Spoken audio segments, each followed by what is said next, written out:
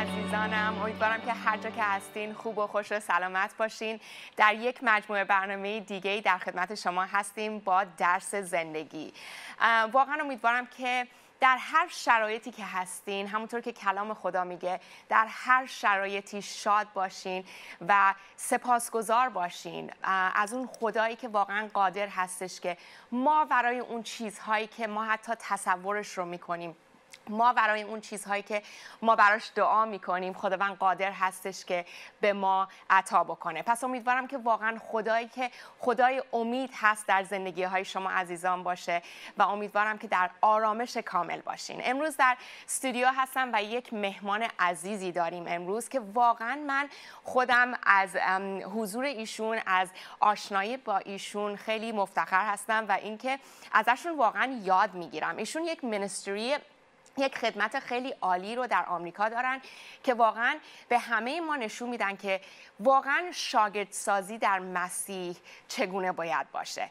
Russ, welcome. We are so honored to have you on our program. I was just giving our audience a little intro about what the program is about. Mm -hmm. uh, why don't you give our audience a little bit of the intro about yourself, your name, how really um, um, how really you came up with this ministry of yours that is absolutely fascinating. Well, first, I just want to tell you I'm humbled to be here. And uh, so, my name is Ross Ramsey, and uh, about five or six years ago, um, I'm on staff at a local church, yes. serving as a discipleship pastor, and I got introduced to some simple tools in how to share the gospel, uh, enter lostness, and begin to make disciples. And then I began to train our church on it um, I got competent at it, and then I began to train uh, train our church, and I just began to see the kingdom of God begin to expand in my life and in our church's life. That's just a broad overview. And then about four months ago, God opened an opportunity for me to do this full time. That's awesome. Uh, with churches in the area and around the United States. So. That is amazing. Ross, you and I were uh, speaking about, you know, what you guys do. And for me, like, it's fascinating because as believers, we just, um, at times, we know the confession of our faith. We know that Jesus is Lord. We know that He, um, that God is sovereign, that the Holy Spirit works through us and in us. But then a lot of times we find ourselves a little um, ashamed I would, I would, I would use this word cautiously to just go up to strangers and just share the gospel with them. What really gave you that comfort level to just go up and knock on people's doors yeah. and share the gospel? Well, give you just step back a little bit yeah. here. What I realized six years ago is that we talk about sharing the gospel. Everyone, everybody in churches will affirm that. Yes. Everybody. But when you really get down to boots on the ground, we're not talking about Jesus with anybody. What we're doing is what we call an attractional approach True. In, the, in the West. I don't True. know how it is everywhere else as we go. Yeah we know somebody and we're going to bring them to a building yep. and they're going to hear a really sharp guy share the gospel. Right. Right. Well, the problem with that is I have the identity as an ambassador and I knew that. So all these churches have a vision for sharing the gospel, but they don't have a plan for equipping people. Literally, yes. what am I going to do Monday morning at 8 a.m.? Yes. And so I got exposed to tools and processes that began to equip people like you and me, just yes. like you and me, yes. to go, I can I'm the one that can open my mouth and actually have that conversation with my neighbor. And that was the whole point of the training is I could go back to the people I love and know who've known me for years and all I've done at best is invite them to church, yes. which is good. Yes. But now I can actually talk to them about Christ in a very biblical, uh, simple way. And when we began to do that, we began to see the kingdom begin to expand in that person's life because they're opening their mouth and they're testifying about Christ. Yeah. Which uh, oh which my is gosh, my your alarm. Yeah, tell um, us more about the alarm. Yeah, so um, how this actually started for me was I met with some guys that were training. Yes. Okay, and I was very jaded and skeptical. I just was like, I'm going to hear these guys out yeah. and get out of this meeting. Well, in the middle of the meeting, they interrupt me, and I'm like, right. I'm here to, and, and they say, do you, do you mind if we pray? Oh wow! It was it was 10 in the morning, two minutes after 10, so it was 10:02, and I go, well, yeah, sure, I'm not against prayer. Right. And they they bow their heads and they begin to pray. Luke chapter 10, verse 2, which, where Jesus says, "Pray to the Lord of the harvest that He send out laborers into the harvest." Amen. Yes. because the laborers are few, but the harvest is plentiful. And at that moment, it flipped my heart. Oh my Lord, that's Uh, awesome. God began to use these, and I realized at that moment I wasn't a laborer, and I began from that day forward praying that that prayer, that simple prayer that Jesus says, "Pray for laborers." And I realized at that moment, that's my role is to help raise up laborers to go into the harvest, and that's what I've been doing for six years. And it started with a simple prayer that Jesus told us to pray. He's telling us to say, "Ask me for this." Yes. Yes. And I said, okay, I'm going to start. And I had messed up motives. I wasn't right, but the Sure. heart eventually came. Sure. And he began to answer that prayer in my life. I Does that make it. sense? Oh, absolutely, it does. So- it's funny you said I was ru- rudely interrupted when I was in the middle of a conversation. That was pride more than anything. I was a jerk at that, but No, they did, and so yeah. You know, I love that, Ross, because God meets us where we are. And when you, I'm telling you, like I've, um, a lot of times we may have our own motives, our own intentions, but God exactly knows where we are and the assignments that He sends to us, the appointments that He sends to us, the divine interruptions that He brings into our lives Right. just bring about revolutionary impact so that not only are we impacted by it, so that he can also equip us and empower us so we can go change the world, expand his kingdom. Well, you said a key word there, go. What we found is most Christians never go. Right. Uh, there's this saying in the Baptists is God never steers a parked car. Right. He always steers somebody who's moving. And so what we realized is we had to get people going. Right. And that's part of the door knocking piece that and by the way, I don't know if you realize this that this interview is the result of a door knock in, in Tell Collin County. about it. Well, I no, know. it was really simple. That's We awesome. we go out every Sunday night, and we, we take that literally. In Luke chapter 10, he sent them out two by two. Yes. And that's where we build up competency and confidence. And so we go out every Sunday night, either at 4 or 6 when the time changed, and a team went out Yes. and knocked on a, a, a, a One of our staff. Yeah, one of your staff. Yeah, absolutely. and they were like, oh my goodness, there's people out praying and sharing the gospel. We're like, yeah, we do that. And uh, the dominoes fell and ends up here, me in a studio being interviewed by you. But that's how the kingdom works. That's if you awesome. go, you begin to enter into God's activity Yes. in your in Yes. your community. But we have to begin going at some point. Yes. And so that that's an aspect of our training. We actually train Yes. And then we physically we immediately go into the community Yeah. uh, and that's when we begin to see the work of god is when we become obedient That to me is humbling because, uh, like you mentioned, Lord, um, you said laborers are few, but the harvest is plenty. And I, um, when I think about it, just what the, the magnitude of what you guys do, you not only have trained up yourselves to be laborers, but you're also making disciples. You're also, just like in Matthew 24, make disciples and, and send them to all nations so that, so that they can also multiply disciples for me. Yeah. So um, to me, it's just fascinating how you're doing your training, and of course, um, how you're training up people, equipping them, empowering them, and right away you're like, you're on a mission field. Go knock on doors. well that's actually what we found in my experience is that the church in the west is a sleeping giant Right. And there's a bunch of people in the churches not everybody who are just like they're on simmer Yes. they're waiting to be equipped Yes. and they're waiting to be shown how to do it so what, what happens in the west I, I can't speak for I, I know the church in America somewhat is that we talk about a lot of stuff. Right. You need to share the gospel. You need to go do this, and but they never have someone that goes here. Let me come show you. Yes. And when they see it, it's like the, the scales fall off their eyes, and it's a paradigm shift. Yes. And so what we do in our training is we we lay vision, but we actually go, come and watch me. By the way, you know who did that? Jesus says, Yes, come and follow me. Yes. Paul, I know of at least three or four times in the epistles where he says, imitate what you see me doing. Yes. And we need to have a process where other Christians are seeing you going and making disciples. A lot of it's just spoken. Yes. So what we brought is a process where we actually see it. Yes. And that's when the light comes on. If that makes any Oh, sense. Oh, absolutely. So, why do you think we get into the whole complacency as believers? Because uh, you- you're asking me, so I'll be honest. I think we've seen passive consumer Christianity on a leadership level in our church, Right. and we only model what we see. Yeah. And the vast majority of leaders in our church have not done this. So we follow what we see.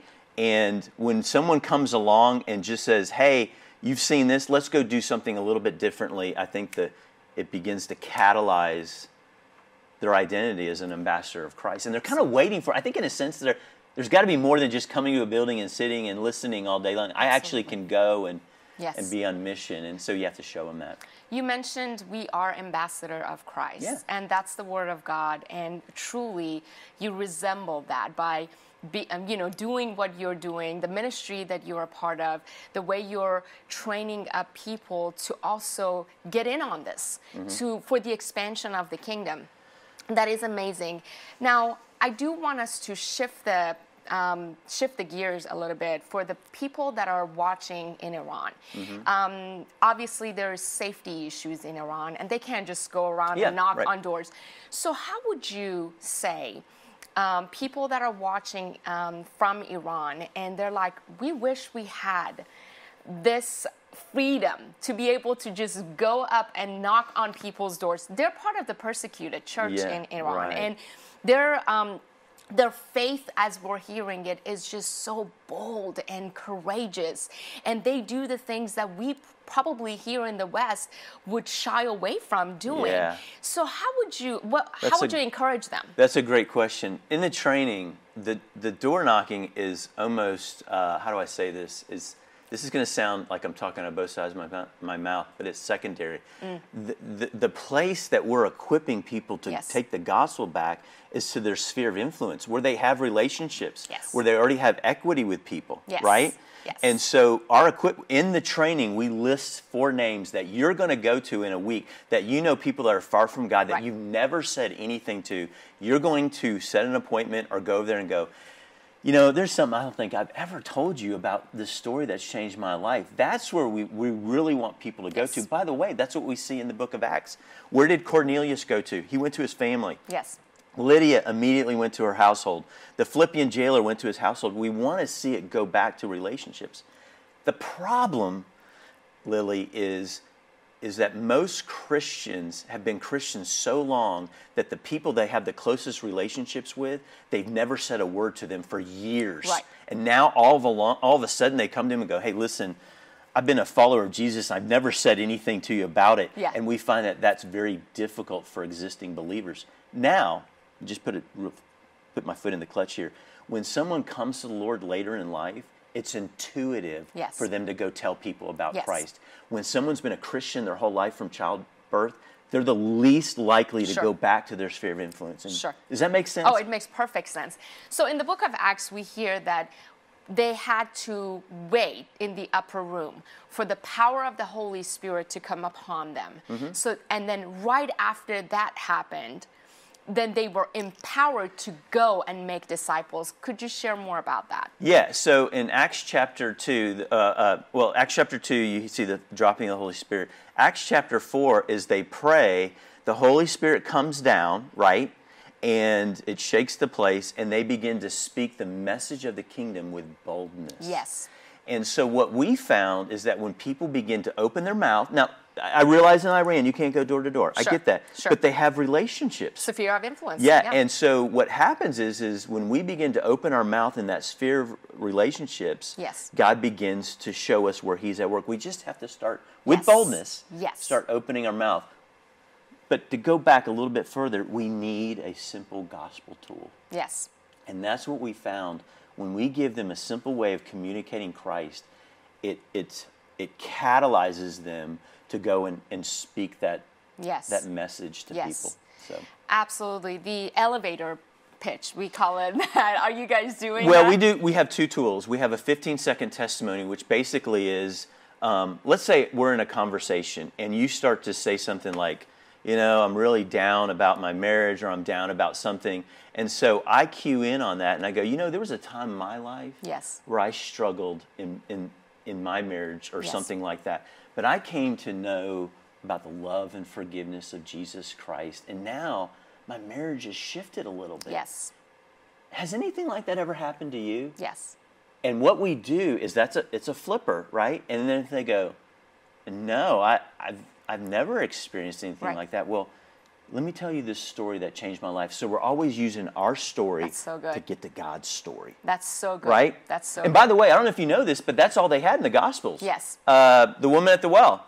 Hey, she didn't know anything about Jesus other than Yes. this guy knows something about me. She went back to a town and said, Hey, come know that this guy told me everything about me. Right. And a whole town gets saved. Yes. The Gerasene demoniac. He's cutting himself, he's living in the tombs, he's naked. This is Mark chapter 5. And he goes back to his town and says, Hey, there's this guy, and the whole town comes out.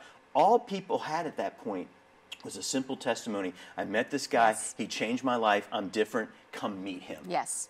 And that is sometimes all people need. Sometimes- Yes. Does that make sense? Oh, it makes perfect sense. People connect with stories, especially personal, first-hand stories, so much better than just you know telling them some random things.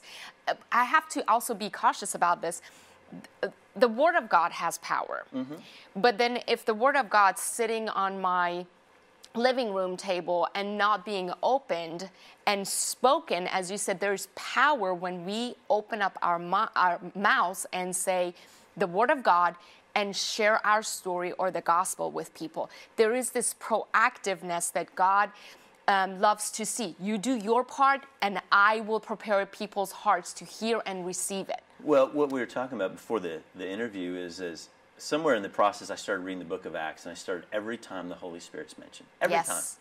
And what I found is what I mentioned to you. Almost Yes. four out of six times when the Holy Spirit's mentioned, it's someone opening, Opening their mouth and testifying about Christ or doing something. And I realized maybe we can reverse engineer this. If we start talking about Jesus, maybe it'll catalyze the work of the That's Holy so Spirit good. in our lives. That's So- so good. That let me give you an example of that 15 second Yes. testimony. The first time I got trained, we call it the 15 second testimony, is uh, real quickly. I was at my son's baseball practice, and this guy moves over, and I'm reading my Bible on a Kindle, and he just starts talking to me, and he won't shut up. I'm just being, and I'm like, No, I'm like, good. the last thing I want to do at my son's baseball practice is talk to me. It's, it's Yes. Sunday evening, and I'm I'm decompressing, and he's like, da da da da da. Uh, you know, I do. I'm up in Anna and everything, and and he looks at me, and.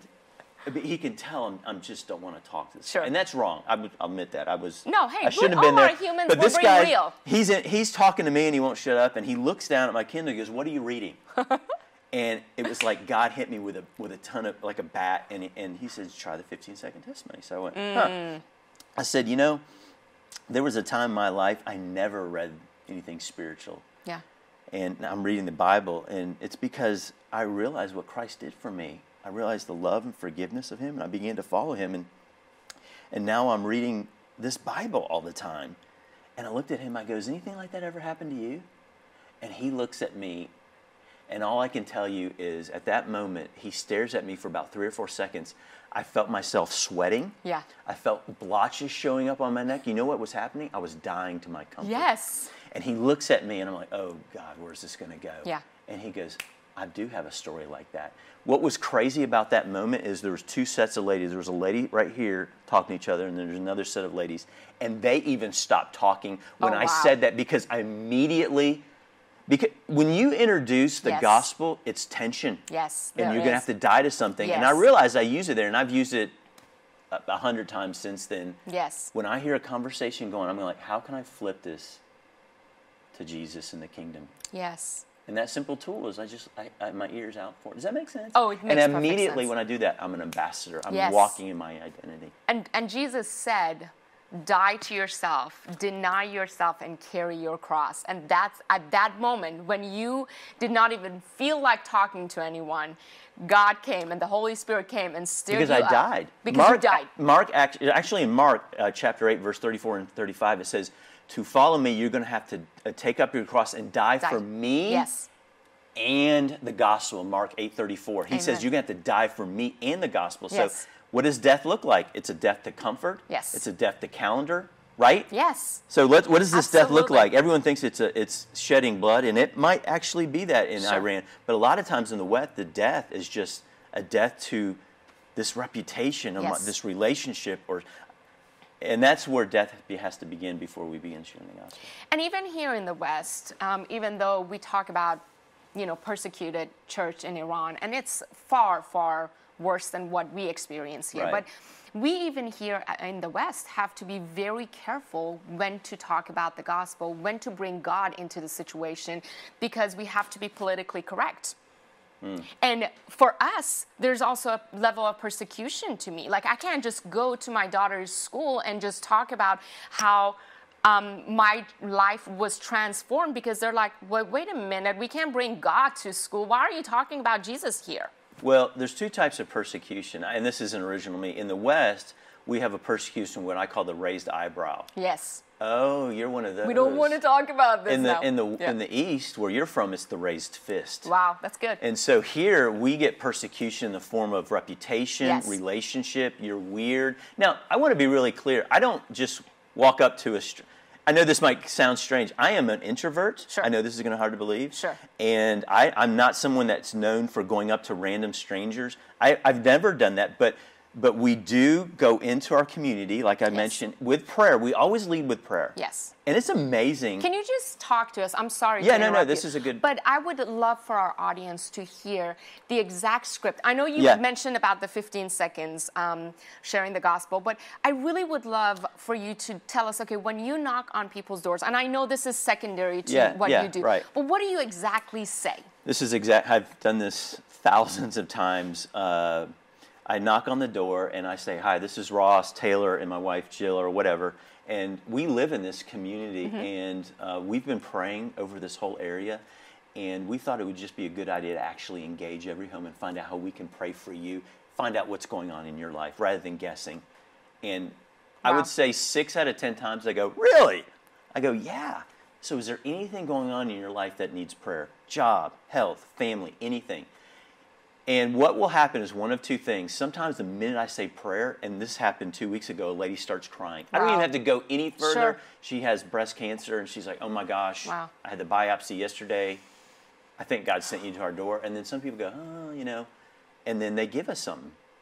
I had one the other day. Um, a kid is this lady actually told us this that the war. My son is uh, rebellious and in all kinds of stuff. I said, "Well, let's pray for him." She's like, "Okay." We pray for him real quickly, real tight. Remember what I told you? Don't do your quiet time there. Right. And we pray in Jesus' name. We come out of the prayer and we go, "Thank you so much for letting me pray for you. I, Yes. I really do appreciate this." And then I go, "You know, in this crazy time in this world, what gives you hope right now?" We're just Yeah. asking people. Yeah. And they go, "Huh? You know." Um, gosh, the vaccine gives me hope, or my kids give me hope. Right. I'm like, really? I go, you know, I'm out here telling a real tight, short story that gives me hope, and I go right into it. Wow. And we pull out the card. There's no name badges. We don't look like Mormons, and I go into the gospel in a very interactive, simple way. Yes. And I'm sharing the gospel with them. We end with a simple question Where do you see yourself? And what we found is rather than going, hey, I want you to come to my church, I get into the gospel story, and we find that by getting into the gospel, it's amazing what begins to pull out of their heart. Yes. And so I'm within five, four to five minutes, I'm into the message of the kingdom Yes. with an absolute stranger.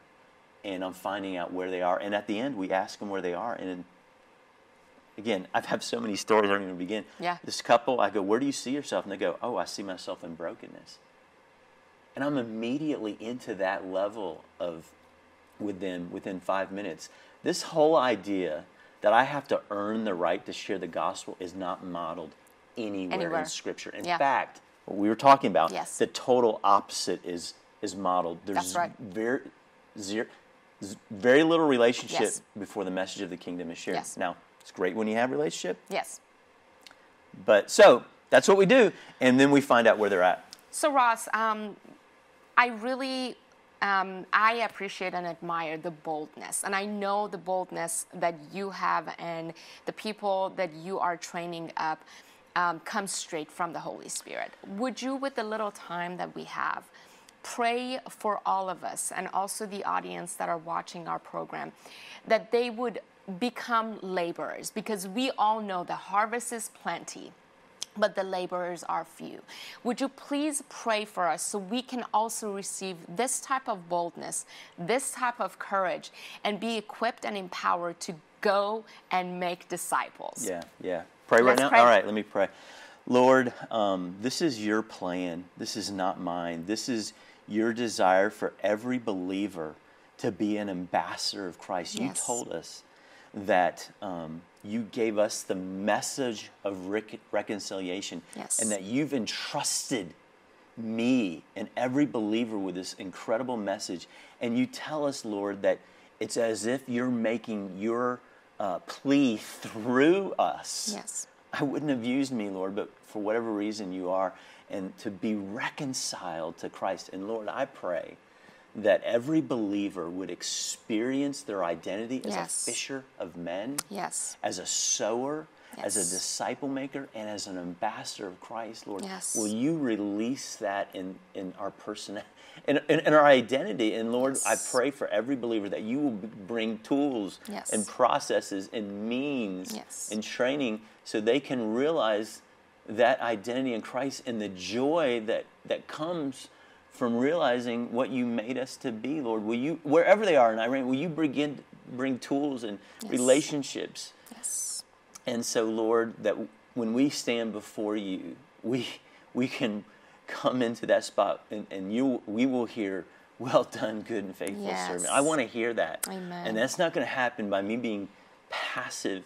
And so, Lord, help us Yes. to, to position us um, to be ambassadors of Christ and experience the joy of obedience and the joy of making your name great. Amen. And Lord, um, may we uh, realize that's why you left us on this planet. Yes. Is to, to experience that. And so, uh, Lord, that is my prayer that you will raise up laborers, that you'll use our efforts and my efforts and Lily's efforts and every to to raise up laborers Yes, for this wonderful message that you left us here. Yes, and we pray this in the precious and matchless name of Jesus Christ. Amen. Amen. Ross, it was such an honor to have you you. on our program.